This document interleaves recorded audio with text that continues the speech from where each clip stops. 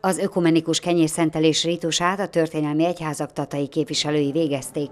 Márkus Mihály nyugalmazott református püspök, Frankó Mátyás evangélikus lelkész és Budla Tamás katolikus plébános áldották meg az új kenyeret. Uram, mindenki várakozó néz rád, és te idejében adsz neki eledet. Kinyitod a kezedet, és megelégítesz minden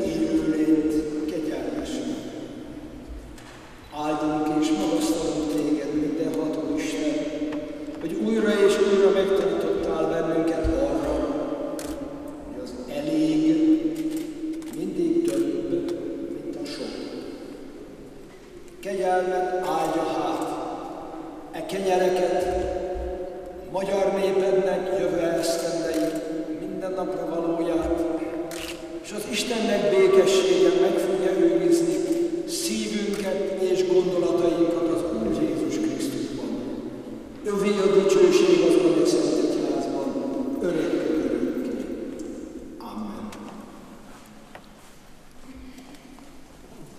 Mindenható Atyánk és Urunk és Istenünk, áld meg ezeket a kenyereket mennyei áldásoddal, hogy akik ebből esznek, azoknak váljék testi-lelki gyarapodásukra.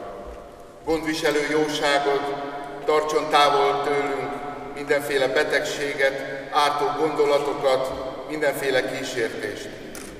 Add, hogy amikor megszegjük mindennapi kenyerünket, óvó szereteted életes titka nyilvánuljon meg számunkra, ami Urunk Jézus Krisztus által, aki nekünk mennyei kenyerünk, örök életünk és üdvösségünk, és aki veled él és uralkodik a Szentélekkel egységben, mindörökkön örökké.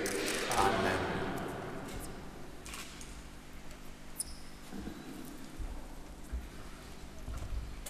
Áldott légy, Istenünk Atyánk, aki az eget és a földet alkottad, minden napi kenyerünkben gondoskodó szereteted jelét, családi asztalunk legfontosabb eledelét adtad nekünk. Terjeszti karod és áraszt áldásodat erre a kenyére, melyet Szent István királyunk országunk fővédő szentjének ünnepén hoztunk eléd. És add meg táplálékul a földkerességen élő minden gyermekednek, a mindennapi eledelt és örök életre szóló igédet. Krisztus, ami Úr.